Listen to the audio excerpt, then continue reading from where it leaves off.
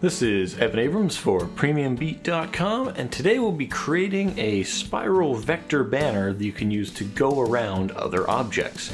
It's basically creating a sandwich of layers such that it appears that there is a foreground and background, but rather they are totally disparate layers that have almost nothing to do with each other except the coincidence that they are starting and stopping in places where one could believe that they're part of the same thing. So, enough of staring at this repeating banner spinning, and uh, let's get into After Effects. So the first thing we want to do is create a new composition. So let's go ahead and we're going to make the HDTV 1080 24 frames a second preset, 1920 by 1080, and 30 seconds of duration is just fine. In our example, we use text that said spiral and then banners, and that'll be fine for our example as well. So we'll just align this in the center here and this will serve as our object. Now this could be anything. This could be a rectangle or something that just happens to run in the center of the column. The next thing we want to do is to create the animation of the banners moving in the foreground. So in order to make sure everything gets spaced out correctly, I'm going to use the grid and then I'm going to go view snap to grid just to make sure that everything is snapping correctly and proportionally to this grid. Now I'm going to use the pen tool to draw out the shapes of the spiral and they can be as wide or thin as you want. Just make sure you set your fill beforehand. And I'm going to use just a bright color. We're going to just go with maybe just white and 98 brightness. That's fine. And I'm going to just start clicking in here where I'd like sort of approximately things to be at. So Let's see, maybe here and around here, and close off the shape. Now you can see it's kind of haphazard, but you can then drag the points when you're done onto the correct positions. So it's all mostly arbitrary, except that I know the sizes and shapes about that I want to be at. So this will serve as the template for what we're doing. So we have one of those. Now we open up the contents here of shape one. And we know that if the banner goes this way, it's going to be going from here to here. The next one we want to be going from here down to here. That means the next one on this plane will be going from this point up to here. So that'll be pretty good, but it is a bit tight for our purposes. So what I'll do is I'll go into the path and I'll just edit this path and drag these points out a little bit more like this, just so we'll have room to tell uh, more or less what's going on. So I'm going to duplicate this path, which will create path 2. Then I select the path points of that and shift it along until it's in the correct spot. So we knew that these are going to go ahead 1, 1, 2, and 3. So then from this point it's going to go 1, 2, and 3, and then ahead again 1, 2, and 3, which should land us here. About? Maybe about here. We'll be able to tell when we uh, flip this around. So let's just do a preliminary one of those. We're going to duplicate, we're going to go layer, transform, flip vertically, and then things should line up like so. Okay, so far they do, so that's all good. Let us continue making this series. So it's gonna be one, two, three, four spaces in between each of those. So it's to take these, path 2, duplicate that, grab the path points, move them ahead to be evenly spaced. Okay, looks good. What I will do is I will drag this back so that it's starting off the frame as we continue, so right there. And now duplicating path, path 3, grab that path, move it ahead, duplicate path 4, and now we move it ahead. That's one, two, three, and even more, and we're done. So that is going to be enough to bring banners on and off, and this we will call top layer. Good. So now I'm going to duplicate that. I'm going to move it below the object, and I'm going to call this one bottom layer. Perfectly good. And we're going to go layer, transform, flip vertically, and then just move it into the correct spot and we're just making sure everything is lining up and so far that looks good. Okay, delete that again. Sorry to keep making and deleting things, but it's far easier if we do things my way. Just saying. Okay, so now we need to animate these. So we're going to set keyframes for each of the paths on here, move ahead a bit, and we're going to select all of the top points and bring them down to be with the bottom points. Okay, so that means that we have them animating away. That's not necessarily what we wanted.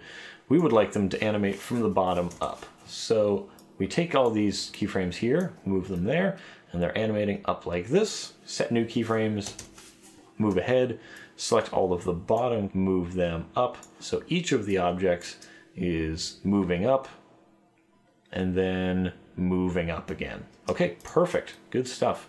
We're doing uh, doing quite well with this. Now let's take all those keyframes, move them back to the start. And now we're going to duplicate this. Finally, this is the last time I'm going to ask you to do this. This is the bottom layers. Bottom layers should have a different fill color. They should be darker, so make them darker by far. Okay, good. Move them below, and then we're just going to shift them after we've gone layer, transform, flip vertically, and make them in the right spot. Now it's time to align their keyframes such that it makes sense. So as the first one comes up and completes, then we would like the first of the back things to come in. And then it starts, boop. And then when it's done, that's when the next of these begins. So you can kind of see the pattern that's going to result looking like stairs. So these will look like stairs going this way, and the others will look like stairs continuing but offset from the first stairs. Let me just align all of these keyframes, and then we will check to see if our work has been correct. Looks pretty correct to me. Do do do do do do.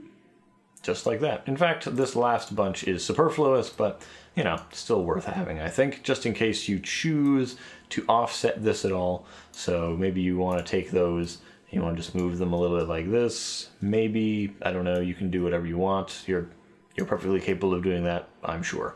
So now what I want to do is I want to take these, all of these keyframes, and I want to easy ease them just so that they are easier coming into the corners like they're making a turn or a curve. Okay, good. Now we need to set up some artificial shadows.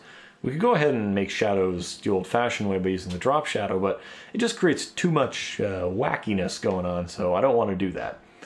I want to keep it simple, I want to keep it controlled, I want to take the grid off, and then now we're going to make those shadows. So, what shadows do we need? Well, there would be a shadow cast by the top layer onto the object layer. So duplicate the object layer, set it to be black, uh, hit T here and set its opacity to like 50% maybe. Now take the top layer, I'm going to duplicate that, top layer 2 is a perfectly good name, and set object layer 2 to have a track matte that is the alpha matte of top layer 2. And now I'm just going to poke top layer 2 over a bit so that it has this shadow coming under it. So as it animates through, it's got that coming through. Perfect. Now the banners should also be casting on themselves. So top layer two, duplicate it, and we're going to have it cast on bottom layers, meaning bottom layers two, you have a track matte of alpha matte of top layers, you know, just like that. And then it should have a fill of black, and it should have an opacity of 50%. That seems about fair. So let's see how well that looks animating on. Yeah, I'm seeing shadows, shadows on that, shadows on that.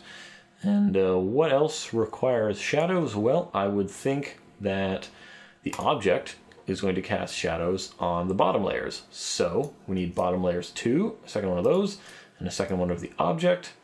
Good. And then poke the eye out here. Then we set this object to be over and down a bit. And I think we've got all of our bases pretty well covered. So when we see that animate through, you can see the shadows are being cast.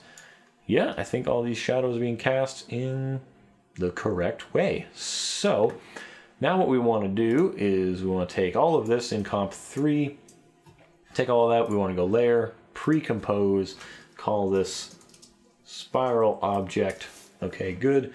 We want to give a background back here, so we go new, solid, you know, we make that solid uh, whatever we'd like. Okay, okay.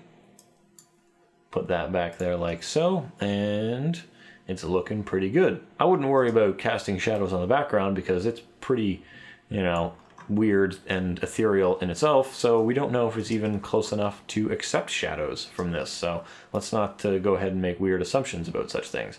Now, one thing that can result is I want you to look really closely and see these tiny lines here.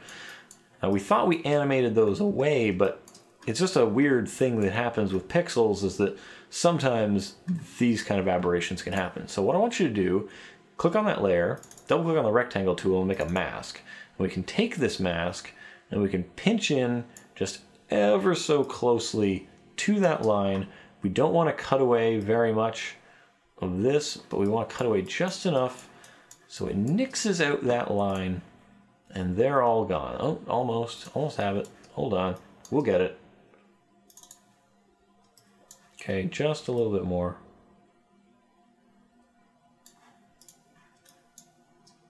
Okay, good. I think that's got it. And if you have them on the bottom, then uh, cut them off there too.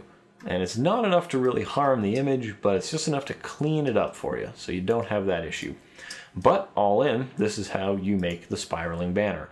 Now ours goes much faster and animates in a totally different speed because what I did was I went layer, time, enable time remapping, which will create two keyframes of the time. I set one here at 10 seconds because I know that 10 seconds is when all of our animation was done. Then I remove the keyframe at the end.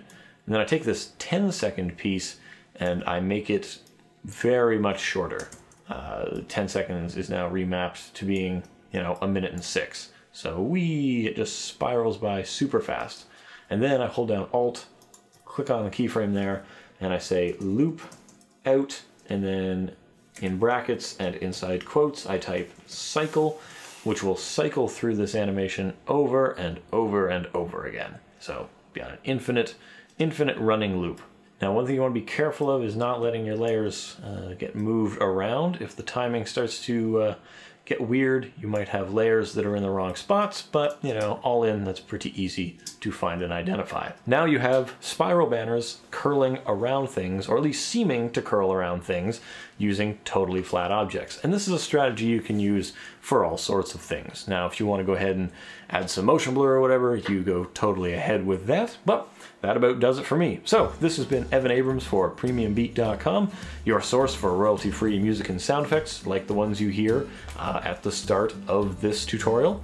And of course, stop by PremiumBeat.com and check out the blog for tips, tricks, and tutorials in not only After Effects, but other applications as well, and hear from industry experts how to get the most out of your programs. So, this has been Evan Abrams. You can check me out at evanabrams.com or at ecabrams on Twitter, or check out my YouTube channel. It's pretty awesome, I've been told.